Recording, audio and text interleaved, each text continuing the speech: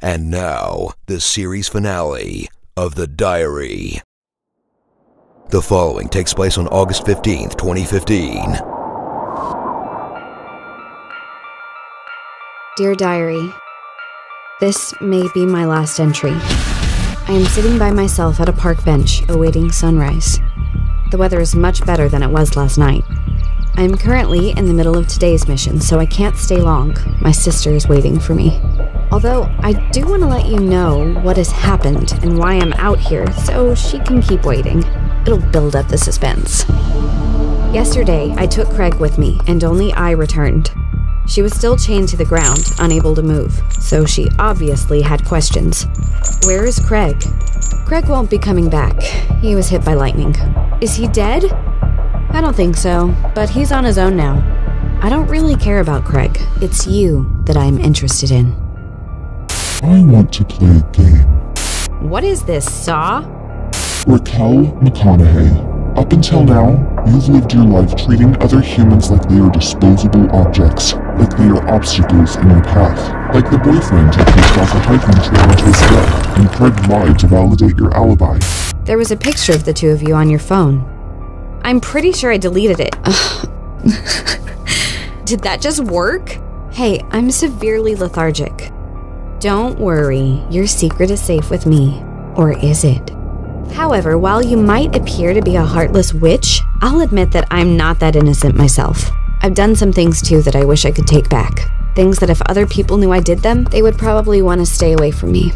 And it's really hard for me to tell which one of the two of us is the evil twin and which one is the good twin. Ugh, again with this?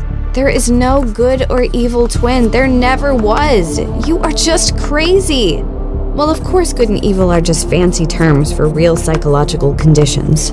That's not what you're talking about, though. You are talking about malevolent forces that are not from this world, steering our thoughts and conditioning our actions to perform their will. You're thinking of an unnatural power that is sinister at its core, that we must succumb to and obey, no matter how hard we try. I will admit that it sounds appealing to be able to rid yourself of all guilt, but you've got to wake up and take responsibility for your actions. Look at you, sounding all reasonable. Seriously, I think you're insane. I think you know you're insane. Let me ask you something. Are you even sure if you ever made it out of that psych ward? Are you sure you're not still in there and none of this is really happening? I hate Mondays. They remind me of the psychiatric ward. Everything in the school is so similar to that other place. The floor plan, color of the doors, the tiles, but most of all, lunch in the cafeteria is exactly the same, only on Mondays. No. No, I am sure. I'm pretty sure all of this is real. Oh, yeah? Prove it. I will. Soon. But first, we are going to play my game as I am the one in charge. You see, I know what you were doing the last time we spoke about Dad and the fire. You tried to keep me in a perpetual state of epistemic ambivalence, of knowing and not knowing what really happened at the same time, letting reality exist in all its possible states at once, as per quantum superposition. So maybe I do know what happened, maybe I don't, because the reason for the fire must be one of the stories you told me. I just don't know which one. But then it occurred to me you told me three different options from a set of four different possibilities. You said you started the fire, then you said you started the fire because I told you to, then you said I started the fire by myself. Well, I think you conveniently left out secret option number four, where I started the fire because you told me to start it. And then you, because you're a nematode, hid in the basement and your whole idea backfired on you when you were the one who got burned and your idea ended up killing Dad. You made me do things that I didn't want to do, and you made me be responsible for our dad's death, and that is why you were the one in the hospital. With the burn scars, and I was the one trying to kill you because I was so angry at you.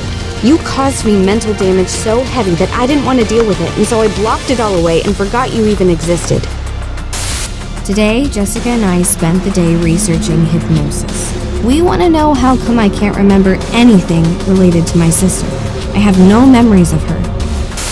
The only remaining question for me is why? Why would you ask me to start that fire? She laughed at me in a disrespectful manner. Oh, You're so adorable. You still feel bad for Dad's death. How are you so smart but haven't figured out that part? Now, granted, there was no way I could guarantee Dad would die in the fire, but that was my goal to kill him. Why? Because he was insane. Are you seriously telling me you don't remember what he used to do to us? He was out of his mind. He was the one who thought one of us was evil even before we were born. Does that strike you as sane behavior? That comment, more like a joke, actually. I doubt anyone really believes it. I mean, why else would someone tell a person who's about to have twins that there is always the chance that one of them will be the good twin and the other one will be the evil twin? But now that it's in my thoughts, it doesn't sound so far-fetched. Not anymore. He was the one who convinced Mom that there was something wrong with one of us. And when we became aware and started developing a conscience, he started guiding us down that path too, forcing it onto us. He would constantly test us to try to figure out which one was which. Come on, baby, turn off Grandma's pacemaker. Just press these buttons here on the computer, and Grandma's pacemaker will stop making her heart beat and Grandma will die. Is that what she wants, Daddy? Oh no, baby, of course not. You're lying. Nope. Dad wouldn't do that. Oh, my dear sister, you're so naive. Did you do it? He somehow found the program to disable Grandma's pacemaker. Dad was so excited that day. He was really speeding on the way there, couldn't wait to see which one of us would do it. When I was five years old, my dad would sometimes take us to visit my grandma. The road to my grandma's house was very sinusoidal, so he would speed up when approaching the crests, building up the expectation as if the car would take off and fly. You kept running off chasing squirrels, so he asked me instead. She was asleep, but I watched her chest stop moving up and down as she stopped breathing. I saw her muscles completely relax for the last time. This is just one example, the one that broke me the most. He did that a lot. Always when mom was not around. I'm sure she knew nothing about it. But one day I thought it was just enough. He had to be stopped. Oh my god. You killed Grandma. Dad killed Grandma. I was five. I had no idea what I was doing. But then you made me start a fire to kill Dad. Sounds to me like you did know what you were doing. I am a victim. Dad turned me into what he already thought one of us was. I was protecting us. No, you're not. You could have come to play with the squirrels with me. Instead, you did to me what Dad did to you. You got off easily, and Dad let you get away with it too. But he wouldn't let me off the hook. That's why. That's why what? Finish that thought. That's why I wanted to kill you. After I saw you on the news being accused of murder. After all I went through, you still turned out to be evil? Killing people and not even knowing about it because you're psychologically split? Then giving blood to save those two guys? No. You can't be both. And you can't be evil. You didn't deserve that title. I earned it. I am the evil twin. I don't know. I think I'm pretty evil too. And then finding out from your diary that dad kept blood to save us and you were taking it? Blood from the good twin. That was for me. My only chance to clean myself from the inside. Oh, so now you believe the blood has a certain magical power. You're all over the place. You can't have it both ways. Let me ask you a question. Imagine you're robbing a bank at night and you're coming out of the building with the bags full of cash, and on the way to your van, you run into a couple of civilians. What do you do? Easy. They can identify and testify against me. I kill them. What's this got to do with anything? We're gonna play a game. We're gonna find out right now which one of the two of us is the evil twin for sure, and which one is the good twin. In front of her, I took three syringes out and I showed all three of them to her. Two of these syringes contain rattlesnake venom. If you don't know about rattlesnakes, the eastern diamondback is considered the most venomous species in North America. Their bites are always potentially fatal depending on the amount of venom they inject during the bite. But here, we already have the perfect amount. Wasn't even hard to get either. Snake Farms will sell it to you. It's expensive, but hey, your dad paid for it with cash I found in his bedroom before he went broke. Oh, yeah, I then remembered I hadn't told her what happened to her dad or her mom. She started asking for the story, but before telling her, I injected myself a full dose of one of the vials. She looked at me like I was crazy. Then I took the other vial and injected her too, despite how much she kicked and screamed. There, now the two of us have the same chances of survival. The third syringe has the anti-venom. There is only enough for one of us. I'm going to walk out for a few minutes. I'll leave the syringe inside the diary at the park down the road. And you and I are going to have our own battle for survival. Only one of us will walk out of this basement on time to save themselves. Or, hey, maybe none of us will make it out. Who knows? The only thing I will ask of you is that whoever makes it out writes down on the diary what happened and who they are. That's why I am leaving the antivenom hidden inside the diary. Promise? She looked skeptical, like she didn't believe me. She didn't promise right away, and I didn't panic much because I knew she would, so I gave her time to think about it. You know, you don't kill the civilians. Are you crazy? How is that evil? That's just unfair. How is that their fault? Why does their life have to end? You are the one who messed up. You decided to break the law. You took the risk of being caught. You executed your own plan, which wasn't perfect. If it had been perfect, you wouldn't have been caught by civilians. But you were caught. You're the nematode. You are the one who failed, not them. They were just at the wrong place at the wrong time, but only because of your failed plan. They had nothing to do with it. If anybody should lose their life now, it should be you. You lost. You're done. Game over. You should be embarrassed you suck at crime. So now you die, not them. You. If you don't want to deal with the consequences of failing, you kill yourself. But wait, aren't you the most important person to yourself? Well, of course you are. No one is more important to you than you. Killing the civilians is easy, like you said. Oh, but killing yourself over a mishap? Over practically nothing? Over something so easily fixed? Now that is evil. That's why I injected myself too, and you and I are going to settle this once and for all. You did some things to me and the ones I love, and I've done some things to you and the ones you love. Then I told her in detail what I did to her adoptive parents and Craig, and somewhere in there, we both started feeling the side effects of the injection in our bodies. That's when she knew. That's when she started trusting me because she felt her body start to malfunction and she saw mine react in the same way. This is when she finally promised to write down in the diary whatever happened. Do you see it now? Do you feel how this is most certainly real and not my hallucination while still being locked up in the psych ward? I never had to convince myself that I'm not crazy. I just had to convince you that I am. You tell me if I am still in the psych ward. And on that note, I walked out. And I came here. And I will leave the third syringe inside the diary here at the park for one of us to find, like I promised her. And when I go back, I will release my sister, I will set her free, and she will have to fight me until the evil and good twins are revealed before our eyes. So, yes, diary, this might be my last entry. You may not hear from me ever again. Wish me luck. Love C.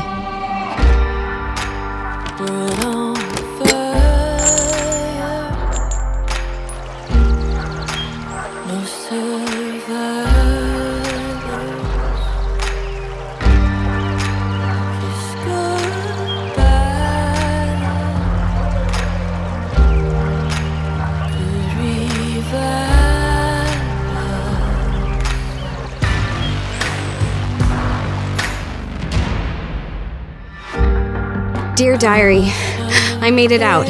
I fought my sister and I won. We were both flushing, itching, getting hives, and starting to swell on the face. Breathing required a bigger effort as the venom reacted and tried to consume our bodies. Even though she put up a bigger fight than I was expecting her to, I was not going to let her win. I punched her in the face so many times and so hard, I knocked three of her teeth out. She was fully unconscious at this point, but I did not preoccupy myself with finishing the job. The snake venom would do that for me. Plus, I didn't know how much more time I had left.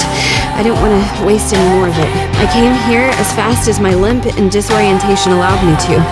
I found the diary on the bench and injected myself with the antidote. I think I'll be okay.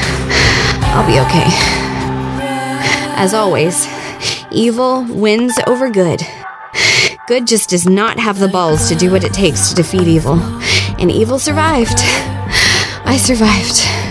I knew I would. I am the evil twin. Love. Make me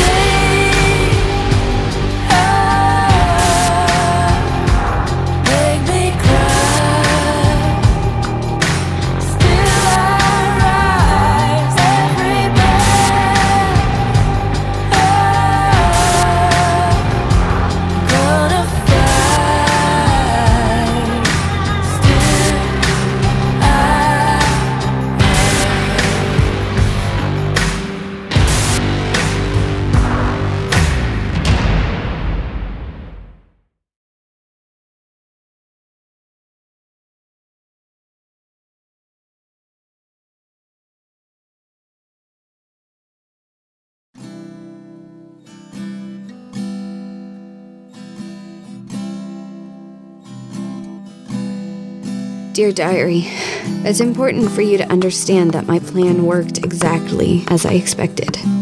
First of all, I didn't buy snake venom, I bought snake antivenom, which I then proceeded to inject into my sister and me. On its own, it will give you reactions similar to allergies, but it won't kill you. It will certainly trick you into thinking you'll die, though. That's all I needed. The third syringe really had cyanide, which I made from apple seeds like the one I used to make the deadly apple muffin. You see, in my mind, this game would help us identify which one of us was the evil twin and which one was the good twin, because if she had been the good twin, rather than fight me, she would have let me just walk out and save myself. If she had done that, I would have gladly stepped out and would have knowingly injected myself with the cyanide. But she didn't do that. And when I saw in her eyes how serious she was about getting out, I knew she would kill herself. That's when I started feeling an out of this world energy, a strong surge of willpower so persuasive I couldn't ignore. It convinced every muscle in my body to try to stop her. I tried to fight her as hard as I could to save her. Of course, I could have also just revealed the information I just told you, but I didn't because I also thought she could have one last chance to prove herself as the good twin if she suddenly reached for what she thought was the cure, had a sudden rush of clarity, and decided to come back and save me instead. But she didn't do that either. She must not have been the good twin after all. Or perhaps she was just a human being afraid of facing eternal disappearance, perpetual vanishing. Anyway, despite her lethargy, she may have won the battle, but not the war. And now, should I crown myself as the good twin? I really did give it my all to try to stop her from taking her own life up until the point she knocked me unconscious. Although the true good twin would have told her the truth in case it helped save her life, that would have been more important to the good twin than preserving the game. But then again, wouldn't the true good twin be doing more good to the world by ridding it of the evil twin? Even if it cost her the title? Is the world a better place now? Have I made it better now that my sister is dead? Are all angels by definition exempt from evil? I guess all I can do now is pretend like I was just born today and then work hard every day from now on to try to earn that title back. When my sister is found, there will be an investigation, but I chose this park because it has a surveillance camera. Everyone will see that she injected herself and that I found her and tried to give her CPR, then called the police. All I have to do is say that she told me what she did to her parents and to her ex boyfriends, and that she couldn't live with herself anymore. They'll fill in the blanks in my favor. I'm tired. I need medical attention, and Jessica's waiting for me. I will tell her what I have done, what I did during these last two weeks. But maybe this time I'll tell her myself.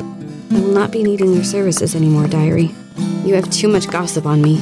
I can't afford to keep you around anymore.